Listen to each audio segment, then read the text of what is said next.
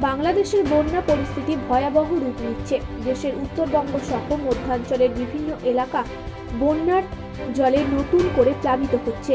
দেশের সিলেট বিভাগে গত কয়েকদিন যাবৎ ভয়াবহ বন্যা চলছে। এয়ারপোর্ট, রেল স্টেশন ও বিদ্যুৎ স্টেশন বন্যার জলে ডুবে যাওয়ায় সিলেট শহরের সাথে বিমান, ট্রেন যোগাযোগ বিচ্ছিন্ন হয়ে পড়েছে। মোবাইল টাওয়ার বন্যার জলের স্রোতে ভেঙে পড়ায় সুনামগঞ্জে জেলার সাথে মোবাইল সংযোগ বিচ্ছিন্ন হয়েছে। গত চব্বিশ ঘন্টায় এই অঞ্চলে বন্যার জল কিছুটা কমলেও পরিস্থিতি এখনও ভয়াবহ।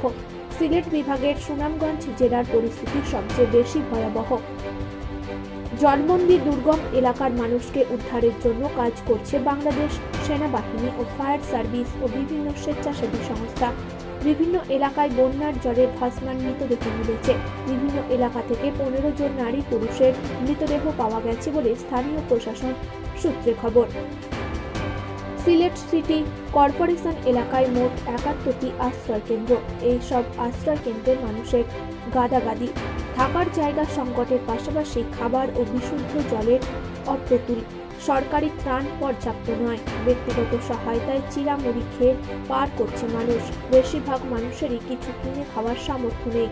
দুর্গতরা খাবার ও বিশুদ্ধ জল সরবরাহের দাবি জানিয়েছে। সিলেট নগর ও কিছু কিছু এলাকায় জল কিছুটা কমলেও জেলার অত্যন্ত পাঁচটি পয়েন্টে নদ নদীর জল বিপদ সীমার ওপর দিয়ে প্রবাহিত হচ্ছে। সুনামগঞ্জে জলের তীব্র সংকট নিরসন সহ দুর্গতদের সহায়তার কাজ করছে বিজিবি।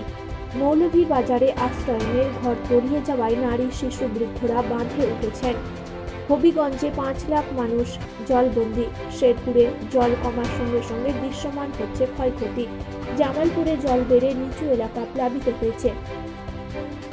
রংপুর কুড়িগ্রামে গাইবান্ধা নীলফামারী নেত্রকোনা, কিশোরগঞ্জ সিরাজগঞ্জ, ব্রাহ্মণবাড়িয়া, টাঙ্গাইল, রাজবাড়ি ও ফরিদপুরের অনেক এলাকা বন্যা কবলিত। কোথাও নতুন নতুন এলাকা প্লাবিত হচ্ছে। সেই সব জায়গাতেও দুর্গত মানুষের প্রাণের চাহিদা বাড়ছে। এদিকে আজ মঙ্গলবার সিলেট যাচ্ছেন প্রধানমন্ত্রী শেখ হাসিনা। এরই মধ্যে সিলেট ও সুনামগঞ্জের দুর্গত এলাকায় প্রধানমন্ত্রী শেখ হাসিনার পক্ষ থেকে খাদ্য সামগ্রী বিতরণ শুরু করেছে আওয়ামী লীগের ত্রাণ ও সমাজ কল্যাণ উপকমিটি। এছাড়া বিভিন্ন স্বেচ্ছাসেবী সংস্থার পক্ষ থেকেও বন্যায় দুর্গত মানুষদের মাঝে খাবার, নিত্য প্রয়োজনীয় সামগ্রী বিতরণ করা হচ্ছে। এদিকে এখনও অনেক দুর্গম এলাকায় মানুষের মাঝে খাবার সামগ্রী পৌঁছায়নি। বাংলাদেশ সেনাবাহিনীর পক্ষ থেকে হেলিকপ্টারে দুর্গম এলাকায় খাদ্য সামগ্রী পৌঁছে দেওয়ার কার্যক্রম চলছে। এদিকে মানুষের মাঝে হতাশা বাড়ছে। বন্যা পরিস্থিতি কতদিন এভাবে চলতে থাকে, এ নিয়ে বাংলাদেশের সাধারণ মানুষ উদ্বিগ্ন। জাহাঙ্গীর খান বাবুর রিপোর্ট টাইমস বাংলা